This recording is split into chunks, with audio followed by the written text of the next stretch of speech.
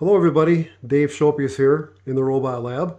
Today I'm trying to come up with a new way to control where my arm carriage stops on the arm rail. This is the rail that the arm carriage will run in and out of the torso on so he can do his animations. Now, what I've done in the past and what I want to change is uh, it, has been controlled by a Sabertooth motor controller and a Kangaroo daughter board for position and speed.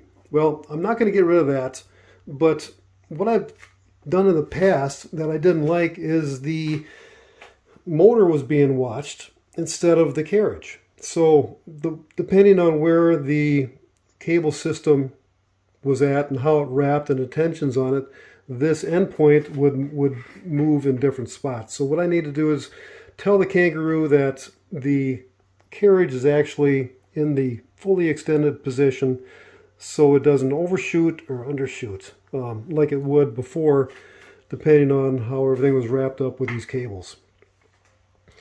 So how do I do that? well you say put a couple of uh, micro switches. Well, back here is cool. There's lots of room back here for a micro switch to tell the kangaroo that it is in this back position. The kangaroo needs two limit switches, one on the back travel position and one at the, the fore very front of the travel situation area, whatever you want to call it. so I think um, you can agree with me that there's really not a lot of room up there to mount a micro switch, especially after you figure that the this whole area is going to be encased, pardon me, in, in, in a rubber skin and it's going to be stretched and pulled in and bouncing and stuff like that. So I need something a little more compact, um, something that'll that'll fit right under here and be triggered when this carriage reaches the end. So after talking to a few friends of mine, one namely David McGee, who is just an amazing technician, engineer, uh, high level thinker, all the above, uh, he suggested Dave put a Hall effect switch in there. And I had never used one, uh, never really considered them. Um, they were just, for me, I guess they, they seemed a little bit too spacey, um, mumbo jumbos magic. I don't know. They're they're they're just a little chip that sits there, and uh, it activates when a magnet goes by it. So I got to looking, and there's a lot of there's there's not a lot of room down here, but there's enough to, to mount one of those little switches down there. Um, so after doing some research and figuring out, I figured I needed a, they have different kinds. I'm not going to go into them all right now, but I figured I needed a non-latching Hall effect switch on some kind of module that's already soldered together with pull-up resistors and everything else, so I didn't have to do all that. So I wanted to keep it simple. So I found this little guy. He was on Amazon. And, uh, and as you can see, let's go back over to the robot. It'll, it's just perfect. It'll, it'll fit right underneath there. Pardon my fingers, I know this is hard to see.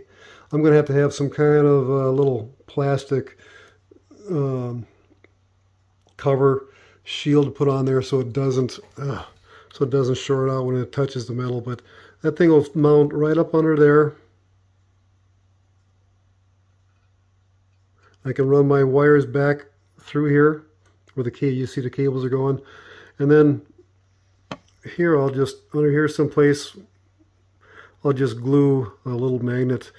And when that thing comes up like that, boom, this little, uh, the little chip sticking out will sense the magnet and send a, a signal back to the kangaroo saying it's there. Okay, here's how it works. um, I have got a, this is all 5 volts, okay? And um, I'm going to try to remember to put the uh, links to these these pieces on my uh, uh, on YouTube below this video. So you can go there and find these, these things. But this is just a little 5 volt non-latching Hall effect switch for Arduino. It's um, really pretty, really pretty nifty. That's what I was showing you before. And uh, the, let me see here. Let me try to get you something here. That, that leg there, on this side where you see the green hooked up to, that's your sensor output.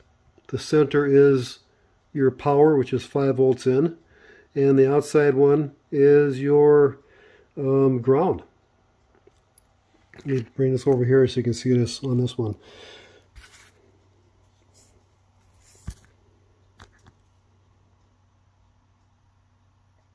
Uh, it's hard to see. Pardon me. Well, there's a there's a negative on one side and a S on the other. There, we can see there. The negative is your ground, the center is 5 volts, and the S is your signal output. Okay. So, um, I'm going to have to run this to a relay because um, I don't think this little guy here will uh, will do what I want to do by itself.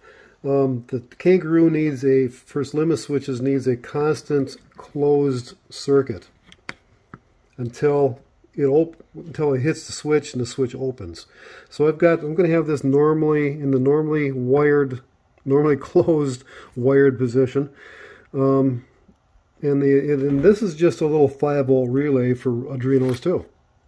It's it's really simple. It works good with this thing, and don't need anything else except for this little module, Hall sensor module, this little relay, and power coming in. So what we have here is the the green. You can see coming off the uh, sensor module. Signal output goes to the input of this Arduino uh, compatible 5 volt relay. That senses when that thing is shut. Then it has a separate power in, 5 volt power in, uh, that operates all the machinery on there. Then I'm running off a computer power supply, 5 volt. So it's all 5 volt. Um, and then when this little guy here senses a magnet, it'll close that relay and let's see it work. So here we go. Let's see if I can get this looking good here. So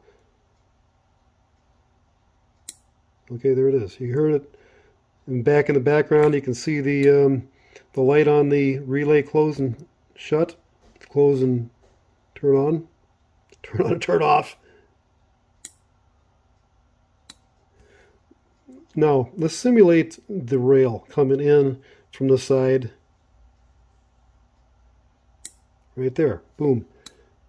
You can see how close it is. Please pardon my camera work. This is the new camera. Let's try that again. Right there. So I'm going to have to figure out where this magnet is going to be mounted on that rail. Or not on the rail, but on the carriage. So uh, it's a pretty good, pretty good system. Let's uh, let me hook up my continuity tester here to this to this here. Turn it on. Okay, now you you can hear it's normally closed right now. Okay, it's buzzing.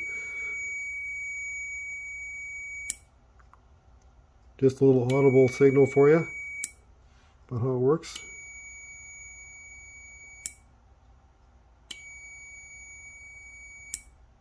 Okay, I think that's going to be an excellent solution. And I uh, will leave you here and let you enjoy this video. Thanks for watching. Bye-bye.